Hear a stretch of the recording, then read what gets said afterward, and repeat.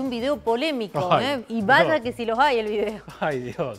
Vamos a ver el video de esta periodista, Gabriela Cerruti. Vocera presidencial. La portavoz presidencial de Alberto Fernández, que publicó en sus redes el siguiente video donde da su perspectiva sobre el proceso inflacionario que estamos viviendo. Sí, hace un análisis eh, acerca de bueno, la situación que viven los argentinos.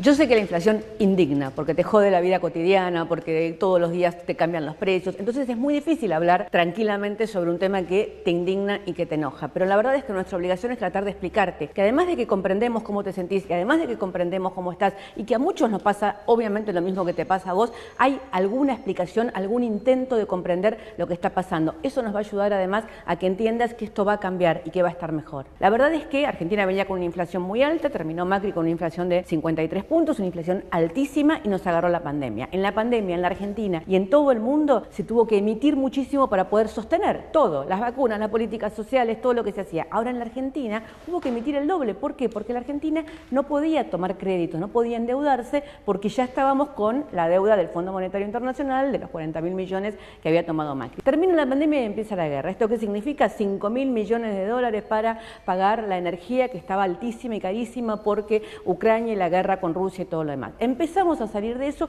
y ustedes vieron que los índices habían bajado en noviembre, en diciembre y sentíamos que empezaba la zona del alivio porque todas las medidas que se están tomando y que impulsan el crecimiento y que impulsan la generación de empleo nos permitía sentir que estábamos un poco mejor. ¿Y qué pasó? La sequía. ¿Qué es la sequía? Cuando hablamos de crisis climática, de cambio climático, hablamos en general, en la Argentina fue la mayor sequía desde el 1920. Pero además sumaré una cosa. Yo le decía hoy la mañana al presidente, mira, yo compro mi bolsón de verduras en el mercado lo compro una vez por semana. Bolsón de verdura, de fruta y docena de huevos, 7.800 pesos. Bastante bien. Cuando el fin de semana tuve que salir a comprar tres cosas en la verdulería de la esquina porque tenía que cocinar para ese fin de semana otras cosas que la que habían venido en el bolsón, gasté también 8.000 pesos. Entonces la dispersión de precios también es algo que hace que no solo algunos precios suban, sino que también de repente vos pagás el doble en un lugar y en el otro. Entonces hay que ir más al supermercado, hay que buscar los precios justos, hay que controlar más. Pero todas estas son las cosas que a vos no te solucionan la vida pero que nosotros te podemos explicar y te podemos contar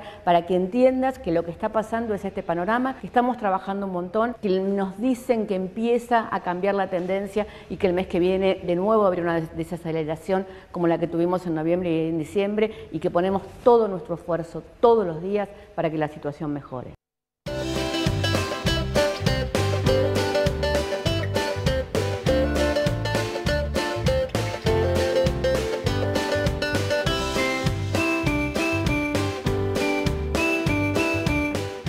En el segmento Mates y Noticias con buena compañía. Con buena compañía. Buen día, Mónica Revilio. Buen día, Álvaro. ¿Cómo, andás?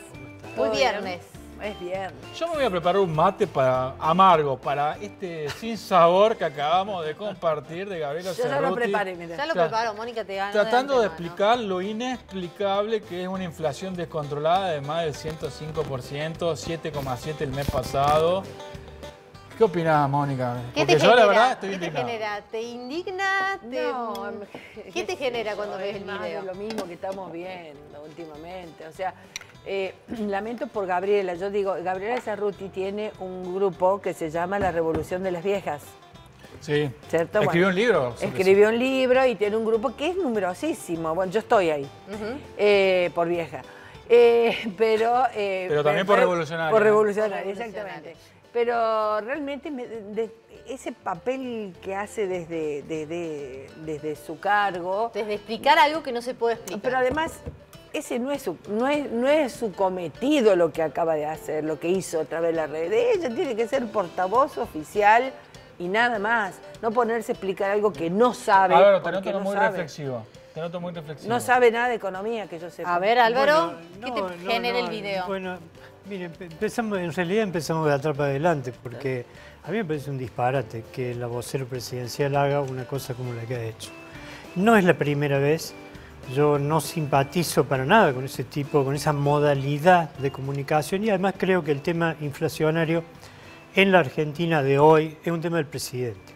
Es, decir, si vamos a hablar de, en términos de gobierno, de la inflación, en este estado de cosas, tiene que hablar el presidente. Seguro. Y el presidente debe hablar sobre la base de un acuerdo, de un acuerdo no hay otro camino posible para salir de una situación como la que se vive si no es a partir de un acuerdo abarcativo de todos los sectores sociales, empresariales y políticos fundamentalmente. Usted me pregunta, ¿estamos a la altura? No, creo que estamos a la altura de Ceruti. es decir, una altura inadecuada. Yo no quiero indignarme, porque los viernes, invitado por mis amigos hablar de plantas, lo que menos quiero es indignarme. Pero estoy seguro que usted, del otro lado, está indignado. Y tiene razón, tiene razón porque la inflación no está suficientemente explicada. Un país que se dice que, que la pandemia, que la guerra, que la sequía y que el viento de no sé dónde, sí, todo tiene cierto, todo ha influido. Y si logramos todavía vivir en comunidad es porque el Estado ha estado presente. Entonces yo quiero que me expliquen muy bien en qué ha estado presente y qué se va a hacer desde el Estado y desde los acuerdos políticos, no solo el gobierno, también la oposición, que creo que es fundamentalmente la más irresponsable. Queremos, queremos saber tu opinión. Estás viendo Crónica Matinal, viste el video de Gabriela Cerruti, estás escuchando nuestras opiniones, pero queremos saber la tuya. Empecé a escribirnos al WhatsApp al 351 564 4048, te reitero el número 351-564-4048. Bien, la verdad que es increíble ver el video, porque para tratar de resolver algo, siempre dicen a nivel psicológico, hay que asumirlo. Y me parece que este gobierno no asume la realidad en la cual estamos viviendo los argentinos. No asume la inseguridad, no asume la inflación. Casualmente a mí me pasó en la jornada de ayer a la tarde, de noche, volví a mi casa en un taxi y el taxista, nos paramos en, un semáforo y vino una persona y quiso agarrar la manija del taxi como para abrir la puerta. Me dice el taxi que es una modalidad común que te están asaltando últimamente en Córdoba. O sea, ya ni siquiera podés volver, eran como las nueve y media de, la noche. O sea, ni siquiera podés andar en las calles. Imagino que en todas partes del país está muy complicado y también la situación de la inflación y no, no lo asumen. La inflación nos está comiendo el bolsillo a todas y a todos. Entonces, eh, escuchar esas explicaciones de que ella tiene, eh, creo que no sé cuántos miles de pesos para ir al mercado central. 8 mil pesos, ella dice que fue al mercado central de Buenos Aires. ¿Cuánta gente? Qué fortuna. ¿Cuánta gente hay que no tiene 8 mil pesos? ¿Cuánta gente hay que no tiene ni para comprar un kilo de papa para ir eh, en, no, pero aparte de Mónica, disculpame que te interrumpa, pero Digo, por, por lo que representa de ir a un mercado central y recibir eh, frutas y verduras a un costo menor lo tienen en Buenos Aires porque tienen esas posibilidades, pero en, Córdoba y el resto del país eso no existe.